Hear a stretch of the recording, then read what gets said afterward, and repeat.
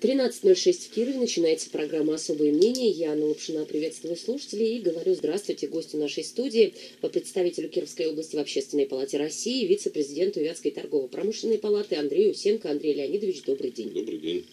Так, ну вопросов у нас много, а, и свои мы заготовили, и я напоминаю слушателям, что вопросы гостю можно задавать через форму анонса на нашем сайте эхокирова.ру. Этих вопросов мы ждем, и обязательно их зададим, если в процессе эфира они поступят. А, я хотела начать с вами а, разговор с кировских тем, но вот не получилось. Да, мэр Екатеринбурга Евгений Ройзман объявил сегодня о том, что уходит в отставку.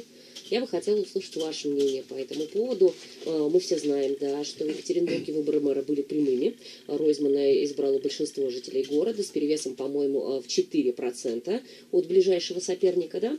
Э, и вот сейчас в Екатеринбурге обсуждается вопрос об отмене прямых выборов мэра города. Евгений Ройзман занимает позицию негативную по этому вопросу предлагал провести народный референдум. Референдум не проходит. Собственно, вопрос решает городская дума.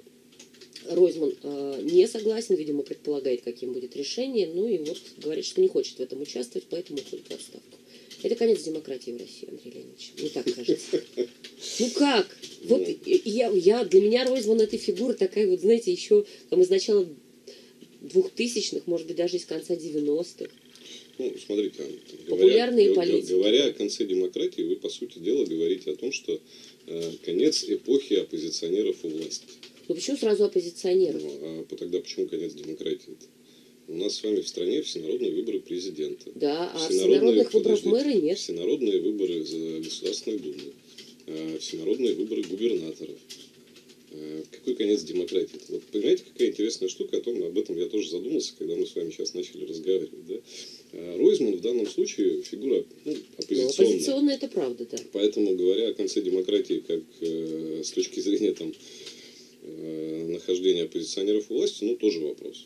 Э, на самом деле это просто громкий пример. А если мы пробежимся по губерниям, что называется, по регионам, там, по городам, то такие примеры, по крайней мере, у управленцев не от партии власти тоже есть. Но их мало. Ну, ну, их мало, несомненно. Но вот смотрите, какая штука. То есть мы же с вами, когда говорим о всенародных выборах губернатора, тоже как-то с сомнением считаем это демократической процедурой. Ну, потому но что но это, но я, это... я не буду никого подставлять, я скажу так. Ходят разговоры или эксперты говорят о том, что далеко не каждую кандидатуру одобрят в администрации президента. Ну, я просто предлагаю не подменять, что называется, понятие. Там, да, отставка Ройзмана и конец демократии в России, это, в общем, вещи, не, не находящиеся в прямой зависимости. Хорошо, если мы выбираем президента, то почему мы не можем выбирать мэров городов? Не знаю, почему можем. Как? Ну, просто, на мой взгляд, это... Опосредованно через депутатов? Нет, мы можем и напрямую. Ну, еще раз повторюсь, у нас есть прямые выборы губернаторов. Вместе с тем, в среде э, не разделяющих мнение там, э, большинства, да, или там имеющие собственное мнение, эти, результаты этих выборов тоже постоянно подвергаются сомнению. То есть, по факту мы с вами имеем, что механизм, каким бы он ни был, прямые выборы, опосредованные выборы, э, не гарантируют демократической процедуры. Вот об этом нам говорят, э, когда ссылаются на то, что та или иная смена механизма значит, э, приведет к концу демократии, что называется. Я считаю, что здесь в большей степени надо говорить не о механизме самом. Каким бы он ни был, он должен полноценно использоваться. Мы с вами опять вернемся, собственно говоря, к тому, э, с чего не, там, некоторое время назад э, о чем говорили, и в этой студии тоже многократно. А, о степени участия нас самих и о степени использования тех механизмов, которые у нас есть. Это вы сейчас о том, что большинство граждан не ходят? Я про явку на выборы угу. муниципального э, уровня. И областного. И областного уровня, да. То есть мы видим мобилизацию на выборах там, федерального масштаба, и то только там президентских, да. Все остальное явка оставляет желать лучшего, она как минимум там меньше 50%, а мы знаем с вами, что по тем же там муниципальным вернее, по округам в городе, там, да, по городской думе. От 10 до 30 процентов, я бы так сказал. Да, а по довыборам и того меньше. Поэтому э, говорить о том, хороший или нехороший механизм, надо только, когда мы используем его э, полноценно. Угу. э, тогда можно сделать вывод, там работает он или не работает. Потому что если мы с вами возьмем молоток и будем стучать по гвоздю не металлической частью, а деревянной, то, в общем, окажется, что бесполезное э, приспособление и не работает. А если перевернем и ударим со всей силы, то, в общем, окажется, что заработало. Поэтому э, мне в решении Ройзмана, э, я не так давно познакомился да, с этим решением так, утренним, э, мне не очень понятна мотивация. То есть я против этого решения, поэтому я ухожу в отставку. А ты символизируешь собой, собственно говоря, там, достоинство той системы, которую ты отставишь. Ты всенародно избранный мэр. Тебя избрали, тебе доверили. И ты не используешь до конца все возможные Э, способы решения там, этого вопроса. Я не очень понимаю, о чем вы сейчас, а что он мог сделать вот Смотрите, в этой ситуации? Его полномочия с принятием завтра решения э, городской думы Екатеринбурга не заканчиваются. Это решение э, внесения изменений в устав распространяются на следующую процедуру. Все правильно. Ну, так какой смысл? То есть в знак протеста но он же руководит городской думой Екатеринбурга. Он не хочет отвечать за решение городской думы Екатеринбурга, который, как он предполагает, как мне кажется, да, будет однозначно в сторону ну, изменения ну, устава. Мне, мне вот эта мотивация непонятна. То есть, с одной стороны, мы говорим о том, что нам нужен механизм прямой демократии по выборам мэра, а с другой стороны, мы говорим, что механизм прямой демократии при голосовании в городской думе, он неправильный. Вот. Вам, вам кажется нелогичным поступок Евгения Мне кажется нелогичным, потому что, еще раз говорю, он олицетворяет собой, собственно говоря, то, э, что пытается отстаивать, и сам от этого отказывается. Я считаю, что это нечестно по отношению к э, тем избирателям, которые за него проголосовали. И не, нечестно по отношению к самому себе с точки зрения, там, ну, я не знаю всех аспектов, да, но э, то есть уйти в отставку самый простой способ. Я против, поэтому вот как бы я так демонстративно поступаю. Да идите вы все. Да, да? То есть, что, э, если какие-то действия будут дальше предприниматься им в ну, этом направлении, пока тогда можно будет сделать вывод, что это, например, там осознанное решение. А так пока мне это напоминает ситуацию э,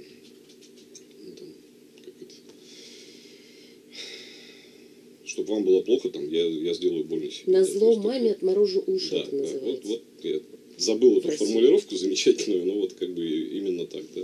И, и, и что сейчас получается у тех людей, которые в него поверили? Но пока они вот поддерживают они... его решение, они говорят, что это мужской поступок. Не хочет голосовать человек. Подождите, он... Не хочет отвечать за, за то решение, с которым не согласен. Уходит. Мужской поступок не хотеть отвечать за что-то, ну, это, в общем, как бы такая странная формулировка. Не за свои действия. Ну, не за свои, так он проголосует и против, и никто тебе вопросов не задаст. Это же голосование, у каждого своя позиция. Меня как раз всегда отсут... очень удивляет отсутствие позиции при голосовании, при том, что есть там за, против, воздержался.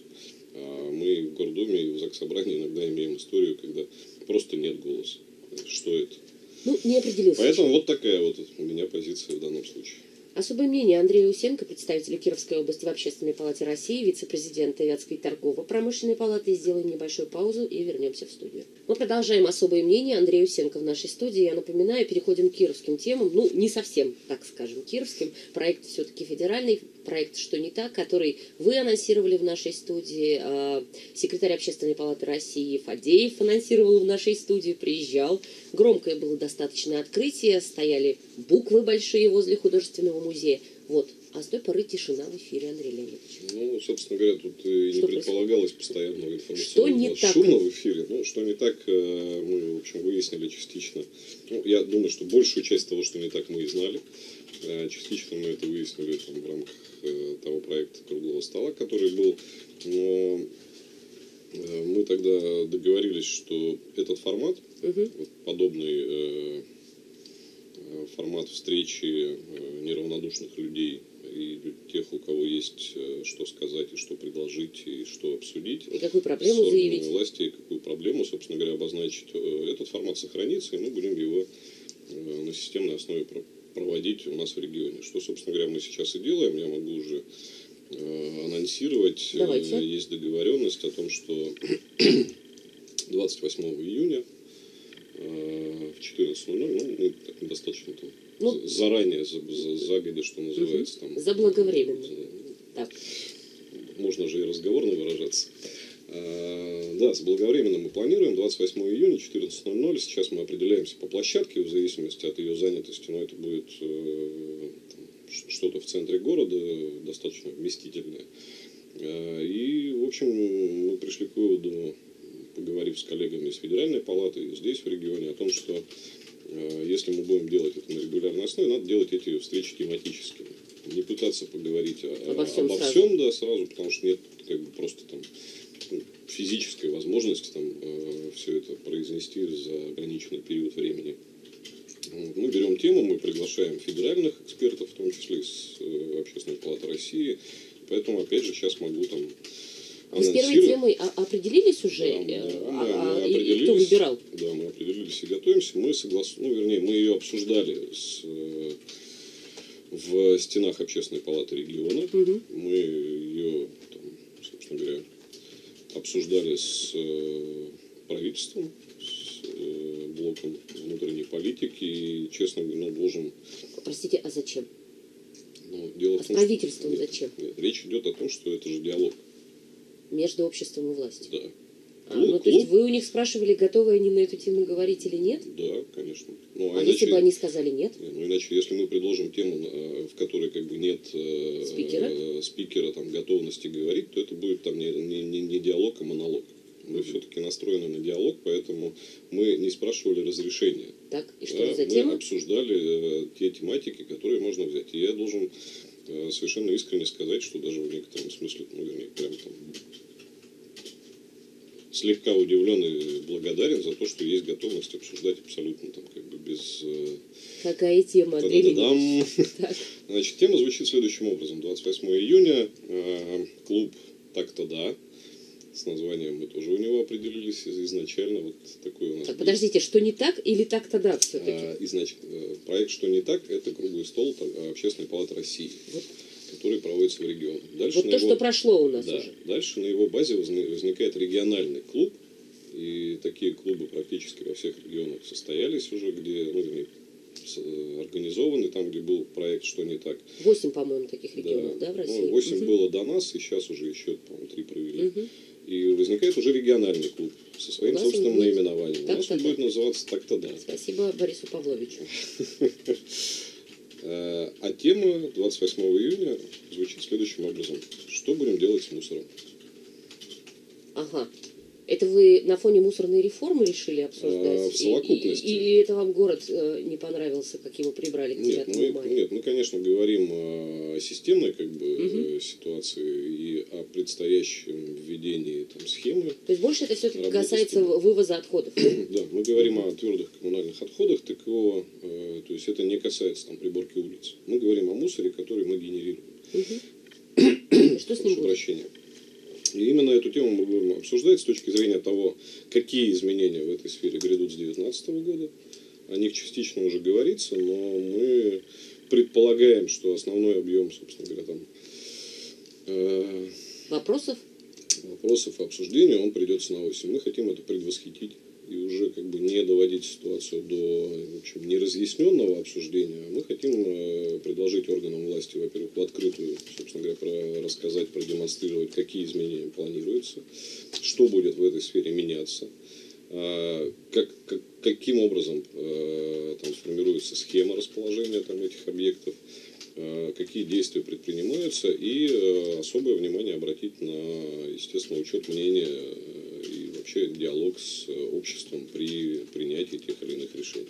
Андрей Леонидович, это вам на региональную службу по тарифам надо немножко надавить. Они к 1 июля обещали озвучить примерные э, цифры тарифа на вывоз мусора. Так вот, чтобы к 28 июня он уже был, чтобы вы про деньги тоже могли поговорить. Мы поговорим про деньги э, с точки зрения, в первую очередь, с точки зрения не абсолютного тарифа, а с точки зрения ценообразования. Нас в первую очередь сейчас будет интересовать, и почему мы делаем это даже там заранее, до объявления еще как бы итогового тарифа, нас э, в первую очередь интересует, что туда входит. Ведь для нас с вами э, важно не, э, не цифра четкая, которую мы платим, а за что мы ее платим. Ну, это понятно. Мы должны понимать, за что мы платим. И тогда нам будет понятнее, принимаем мы эту цифру или нет. Точно так же, когда мы там, приходим в магазин, да, мы видим товар, и видим э, цену. И мы сопоставляем для себя, готовы мы эту цену заплатить за этот товар, стоит он того или нет. И это решение мы принимаем. Так вот, наша задача разобраться не с, просто с ценой и не сказать, что там, с 1 января мы будем платить столько-то. А что будет, собственно говоря, в эту цену входить? За что мы начнем с 1 января платить? Вот эта задача стоит, поэтому сложности там с... То есть это такая больше разъяснительная будет встреча? Э, это встреча разобраться. Ну, разобраться вот, всем. А, хорошо, вот вы разберетесь, а дальше-то ничего же не изменится. Ну, то есть решение-то принято уже. Оператор выбран. Мы же не можем сказать, что не будут люди э, платить вот за это например, за амортизацию оборудования оператора или еще за что-то. Ну, То есть, ну вот все-таки характер э, э, этой встречи это подготовка жителей к тому, что будет происходить, и объяснение им, за что они будут платить повышенные деньги. Я бы не вот, э, вы когда так говорите, вы формулируете, наверное, с точки зрения там, органов власти, да, там, проинформировать, подготовить, Э, ну и условно говоря там выпустить, Я просто, выпустить Андрей пар. Леонидович, я страдаю рассма... от этого, потому что после того, как вводится это все, у нас вот здесь телефон не замолкает, от возмущенных звонков мы не можем отбиться. Так мы должны с вами, э, вернее, мы э, предполагаем провести это мероприятие для того, чтобы все вместе разобраться, что же все-таки будет происходить, угу. на что можно повлиять, что уже принято, и, собственно говоря, что нам это принесет. Потому что пока речь идет в информпространстве о чем? с 1 января мы будем в разы больше платить за вывоз мусора. Да. Вот и все. Да. Больше в информпространстве ничего не присутствует. Мы не понимаем, а, за что именно мы будем платить. А, когда говорят о том, что там тариф вырастет в несколько раз, надо понимать, что сейчас его вообще не существует. Если ну, сейчас за, заложен вывоз мусора да, в обслуживании. Да. У управляющих компаний, угу. не, не у граждан. А, мы должны понимать, что если мы этого не будем делать, то через некоторое время... У нас будет Волоколамск. Или хуже, или мы просто зарастем грязи. Мы можем там, отказаться от всего. Вот включим механизм там, прямой демократии, откажемся от э, этих решений, куда будем выбрасывать мусор. Понятно, что каждый не хочет, чтобы рядом с ним это происходило. Но при этом всем вместе нам необходимо решить этот вопрос. Вот с целью э, диалога э, о том, что предполагается, какие изменения, какие решения, угу. и понимание того, что в первую очередь вызывает беспокойство, обоснованное или необоснованное, мы будем об этом разговаривать и будем, собственно говоря, объяснять. Вот 28 июня, 28 площадка в, центре города в 14.00. А кто будет от правительства? Алла Викторовна Албегова или пока нет кандидатуры, не определили вам? Ну, вообще формат клуба предусматривает участие губернатора. А, вот оно как, понятно. У нас, э, собственно говоря, там сам формат этого мероприятия и его предыстория, что не так, она несет как раз э, Участие вот, первых лиц. Вот эту составляющую, да, то есть это участие губернатора, и мы, собственно говоря, на это ориентируемся. Андрей Усенко, представитель Кировской области в Общественной палате России, о проекте Общественной палаты России «Что не так?» клубе «Так-то да», который будет работать в Кирове. И первое заседание пройдет 28 июня. А, еще одна тема, которую хотела с вами обсудить как с общественником. Общественная палата России, насколько я знаю, утверждает составы общественных наблюдательных комиссий, которые а, надзирают, я бы так сказала, контролируют соблюдение прав заключенных Э, в местах их принудительного содержания. Вторую неделю мы уже эту тему обсуждаем. Да? Э, наша Кировская УНК внезапно оказалась богата сразу двумя сайтами в интернете. Один официальный, утвержденный на заседании комиссии, второй неофициальный, который, ну, по нашей информации и потому, что можно понять из написанного, ведет председатель комиссии Михаил Кузьминых. И вот все бы ничего, Андрей Леонидович, понимаете, там, я бы даже сказала, вот Просто мое сердце филолога радуется, конечно, когда эти тексты вижу, потому что они настолько витиеватые. Но когда я вижу, как человек пишет про своих коллег по комиссии, мне кажется, что вообще-то это немножко неправильно. Мы вот здесь вчера очередной текст открыли, да, а, посвящен он был мероприятиям, которые в годовщине Победы были приурочены в местах принудительного содержания. Вот, ну, как бы тема тоже такая, знаете, не для ерничания. И там а, Прямым текстом написано. Председатель УНК весьма удовлетворен тем, что ряженым в обличии правозащитников, клоунам из числа УНК не пришла в голову мысль заявиться в эти дни к осужденным. Они могли бы сильно попортить праздник. Цена их известна каждому. Какие эмоции может испытывать, осужденный, глядя в чувствительный для него момент на некую непотребную харю? Это он пишет о своих коллегах по комиссии. который занимается общественным контролем, Андрей Леонидович. Да, я Слушайте, ну это же безобразие. текстами. Это безобразие. Неужели невозможно повлиять? А самое интересное, подождите, нет, я понимаю, влиять на общественников, наверное, не самая такая благородная задача, да, А, но, но вообще-то ссылка на этот сайт ведет с официального сайта УФСИН. Вот смотрите, значит, я, не будучи филологом, но искренне разделяю ваше восхищение слогом, написанным. Ежели исключить определ... э, ну, владение словом, там нельзя не отметить. Да. Э, Пусть но- блог свой ведет. Да, но если говорить о содержании, э, у меня здесь есть позиция, есть вопрос. Да. Позиция моя состоит в том, что руководитель, избранный общественной структуры, должен отдавать себе отчет в том, что он несет ответственность транслированное в информационное пространство слово э, или, или- или статью.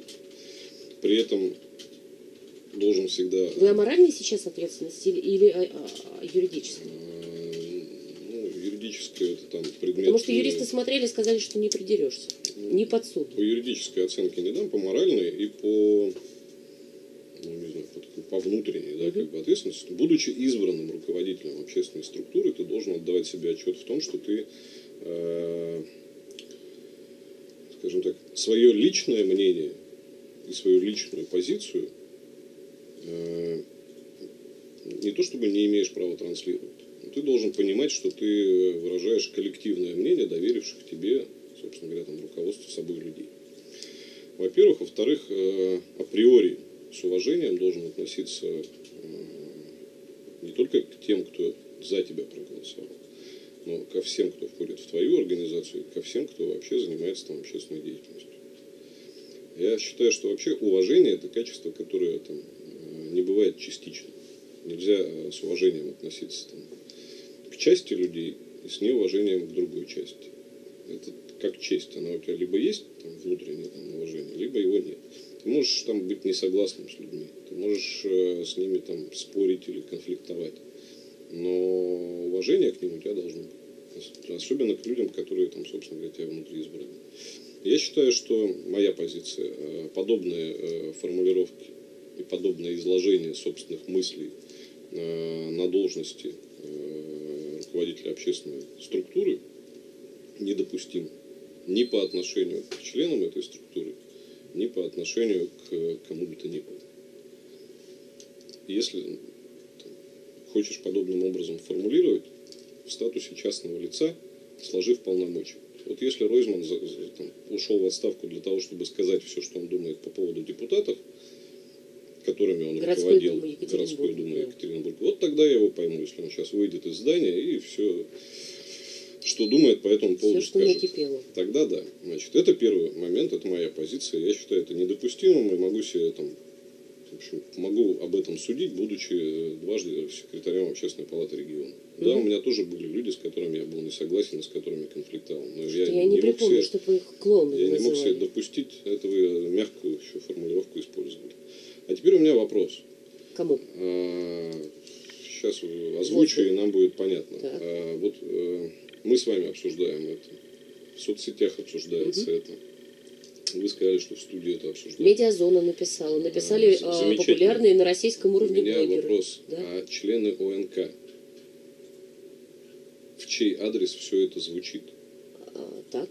Какова, где их реакции, где их позиция? А, Еще раз напомню, э, давайте, Мгм, ну просто хорошо. чтобы было понятно, значит, эта должность, которую занимает Михаил Кузьминых. Кузьминых, она не назначаемая, она избираемая. Его избрали в свое Его время с перевесом в один голос. Да, сами члены ОНК.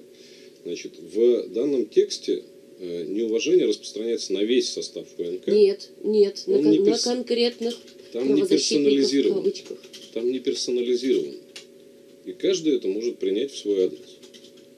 Если кто-то считает, что на него это не бросает тень, я считаю, что подобные вот э, формулировки бросают тень на ОНК в целом.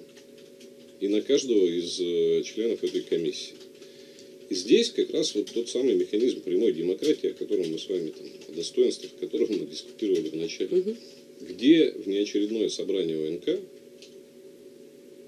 И где реакция? Позиция, там, заявление. Где э, официальная там, э, позиция относительно ссылки на сайт? Где эти действия? -то? Еще раз повторюсь, ОНК самоорганизуемая структура внутри. Общественная палата России, до которой, э, до комиссии э, э, по взаимодействию с ОНК, которой я довел эту, собственно угу. говоря, там информацию, они ознакомились и, в общем, были... Что они сказали? Ну, вы знаете, честно говоря, там надо понимать, что э, в масштабах всей страны происходит много такого, на фоне чего это выглядит, в общем, ну, конечно, там не детской шалостью, но э, не самым э, вопиющим. вопиющим там как бы фактором или ситуацией, да. Они там много что насмотрелись, начиная от э, уголовных там, угу. ситуаций, заканчивая э, там, коррупциогенными и всеми остальными. А, ОНК вообще как бы структура очень сложная с точки зрения вот этого там э, формирования, форматирования, э, работы и сочетания интересов угу. внутри нее. А, собственно говоря, мне в, в комиссии сказали о том, что ну, воздействие прямого. То есть нет, нет возможности позвонить из Москвы и сказать, э, чувак, поумерь пыл. Ну, вот понимаете, какая штука здесь возникает? А, сегодня мы вот очень важный момент, да, мы с вами, с одной стороны, когда речь идет о неком там вертикальном воздействии, говорим, что это плохо. Мы очень против. А с другой стороны, когда надо, мы сами пытаемся к нему прибегнуть. Да? То есть вот, вот у нас ситуация региональная, угу. абсолютно региональная ситуация, которую надо решать здесь. Мы пытаемся найти механизм воздействия на нее извне, желательно из Москвы, как обычно. Мне было сказано, мы э, вернее, э, закончу мысль, да, надо понимать, что если мы включим такие механизмы, то сегодня позвонят ему и скажут, что не так, а завтра позвонят другому, который как бы там занимает... По другому поводу. По другому поводу, по поводу его мнения, позиции. Угу. Это правильно ли это? Я считаю, что нет. Андрей Леонидович, должны сделать перерыв на рекламу и вернемся через две минуты. Андрей Усенко, представитель Кировской области в Общественной палате России, в нашей студии. Мы продолжаем особое мнение. А, я так думаю, тему УНК, ну вот еще в перерыве немножко обсуждали, да. То есть единственным вариантом, который вы видите, это собрание общей общественной наблюдательной комиссии. Все-таки там, я не знаю, разбор того, что происходит, а, и, и какой-то ну, решение. Я вижу, это не единственный, конечно, вариант. Вариантов может быть множество. Давление из Москвы мы, мы отвергаем, как, как не самое я правильное. Я считаю принципиально да. неправильным это. Потому что, еще раз говорю, включив этот механизм однажды, мы ведь, ну, Откроем ящик Пандоры. Ну, мы, мы, мы, мы сами противоречим тому, что мы декларируем. Поэтому я считаю не единственным э, вариантом, я считаю его самым правильным. Э, мне кажется, что, собственно говоря, позиция ОНК в целом по этому поводу, тем более если говорится о том, что было официальное решение по ссылке на сайт. Угу. Ну, надо, надо просто там собираться и свою позицию по этому поводу озвучивать. Еще раз говорю, в данном случае мне кажется, что дальнейшая эскалация вот этого внешнего обсуждения без внутренней позиции приведет к дискредитации УНК в целом. И надо отдавать себе в этом отчет. Хорошо. Переходим к следующей теме. Э, цены на бензин цены на бензин, Андрей Леонидович. Вы водитель, я знаю. Вот. Вчера была прекрасная вечером новость от Центробанка. Центробанк прокомментировал активный рост в последние в последний месяц, я бы сказала, там, да, взрывной, можно сказать, рост цен на бензин в разных регионах России. Они сказали, это связано с внешней ситуацией цен на, на нефть. И вообще, вот обратите внимание, когда цены на нефть падали, бензин не рос так сильно, они сказали. Вот, и чем привели, в общем-то, в ступор людей которые не, не очень, может быть, разбираются в макроэкономике, э, мнение было едино. Вообще, если цены мировые падают, так, по идее, бензин должен дешеветь, а не то, чтобы там не очень дорожать. Вы знаете, Анна, у меня по этому поводу там, короткая реплика-анекдот. Да? Достали? Э, в России любой повод может быть основанием для повышения цен на бензин. Мы собственно говоря, никогда не сталкивались со снижением стоимости. Угу. И это, в общем, для нас как бы совершенно неизвестное событие. Но рост э, стоимости, имеющий место там, постоянный, э, объясняется любыми происходящими событиями, вне зависимости от их той или иной там, логической связанности. Э, в нынешней ситуации мы имеем дело с таким скачкообразным ростом.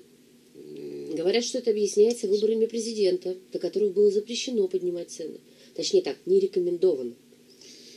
Ну, опять же, там, конспирологические теории и все остальное. Я, например, помню, вот специально обращал внимание каждую весну на рост цен на дизель. Вот, э, не на весь бензин, а на дизель. Ну, это связано вот, со стартом сезона. Да, на моей памяти как бы это происходило там последние лет пять. Дизель угу. весной вырастало да, на 2-3 рубля. Значит, и, в общем, как бы, видимо, учитывая небольшое количество владельцев дизельных автомобилей, это проходило мимо. Я, честно говоря, тоже к макроэкономистам себя там не отношу. Э, прямой зависимости между ценами на внутреннем, внутреннем да, и внешнем рынке э, я, я ее как бы вижу, но не понимаю. Да? Э, потому что, несомненно, там, экономическая целесообразность должна иметь место, но в том числе принимая во внимание режим там, экономический, в котором мы сейчас существуем во внешней среде, я имею в виду там санкционный, ну, санкционный режим там, в том или ином э, формате, я считаю, что для нас, например, снижение внутренних издержек и переложение их на внешние, э, на внешних потребителей, это в том числе экономический механизм, э, ну, такой противостояния тому, что происходит. Да? Вот там не контрсанкции, а если мы, например, внутри страны снизим стоимость э, там, энергоносителей того или иного рода, за счет чего наша продукция станет более конкурентоспособна и на внешних экспортных рынках сможет э, более э, выгодно быть представлена, а правительство там, России отдает там, большой приоритет развитию экспорта. Это в том числе может быть ответом на то, что с нами происходит повышаете цены на, на, на внешнем рынке, за счет чего снижаете на внутреннем. Макроэкономисты нам и здесь скажут, что наши производители пойдут по пути увеличения издержек, собственно говоря, там все это не интегрируют, но я думаю, что здесь надо там э, искать баланс. Баланс между интересами э, граждан страны и, э, собственно говоря, там, экономической политикой. И уж если так э, там, совсем утрировать, грубо говоря, то, в общем, э, как это, у нас прошел уже период этих, э, когда все возмущались по поводу отсутствия пармезана, да. Угу. Но, грубо говоря, там, я думаю, что многим жителям нашей страны было бы очень приятно понять, что э, пармезана лишились, зато бензин подешевел. В два раза.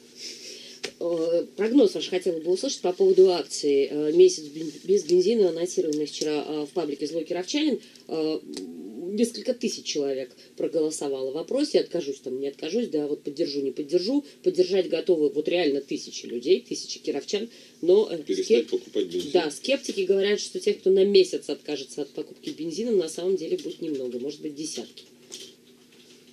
Ваш прогноз? Ну, мой прогноз, в общем, как бы примерно такой Вы согласны же. со скептиками? Да, я согласен, видимо, придется в них себя записать, потому что я часто с этим сталкивался. Э, активность в интернете с активностью в, решениях, жизни? да, и в, в реальной жизни э, имеет очень мало общего. Андрей Усенко, представитель Кировской области в Общественной палате России, вице-президент Вятской, Вятской торгово-промышленной палаты в нашей студии. У нас три минуты остается. Вот очень коротко. Хотела бы я все-таки ваш, ваш прогноз на наши авиаперевозки услышать очередной раз саратовские авиалинии, их перелеты из Кирова на юг и в другие регионы страны под вопросом. 27 мая Росавиация э, будет принимать окончательное, как я понимаю, решение по саратовским авиалиниям, запрещать им э, работать на российском рынке или нет. Ну, говорят, что, может быть, не запретят, вот, но, но под вопросом вообще перелеты из Кирова, под большим вопросом. Нам полтора года обещают найти достойных перевозчиков, на авиарынке. Но вот пока что мы особо не видим никого. Ну, перевозчиков-то на авиарынке осталось там, э, вообще не так много.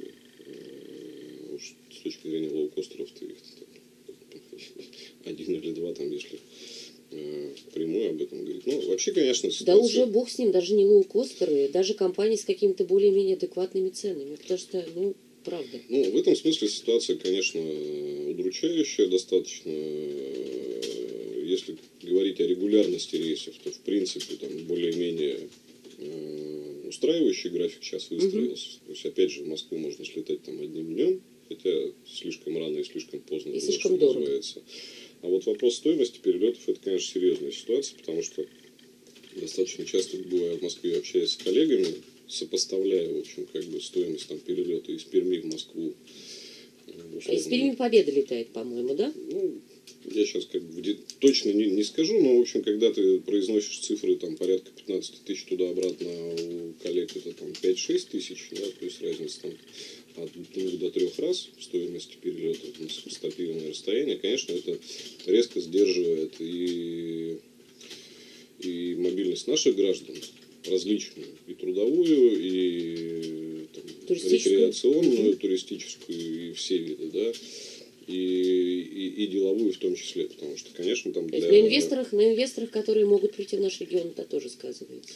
Ну, видите, здесь ведь э, у меня вот есть... Прямой зависимости нет. Нет, почему? Есть. Есть. Э, Иногда разговариваешь с людьми, которые, ну, как бы, там, рассматривают э, какие-то вопросы бизнеса. Ну, например, они там, в силу своей занятости не готовы жить в Кирове, да, но при этом понимают, что им там 2-3 дня, 2-3 раза в неделю, например, придется там в Киров летать. Делать это на поезде невозможно уже просто потому, что это вся неделя на это уйдет, там, с учетом вечера всего. А самолетом это превращается, ну, в общем, достаточно серьезные В 200 накладные тысяч расходы, как бы там, да, то есть, которые вот. Поэтому, конечно, это удручающая ситуация, которая требует решения и требует э, ну, таких направленных действий, потому что э, конкуренция между регионами сейчас и в целом по всем как бы, вопросам очень высока, и это стимулируется федеральным центром. А уж конкуренция за нормальных перевозчиков, авиаперевозчиков, она еще выше. Э, Напомню, что там при руководитель Победы говорил о том, что у них там э, не шорт-лист, а лонг-лист регионов, которые там э, Стоят в очередь. За, ними, да. Андрей Усенко, вице-президент Вятской торгово-промышленной палаты, представитель Кировской области в Общественной палате России, был у нас в особом мнении. На этом мы с вами прощаемся. До Время свидания. наше истекло. До свидания.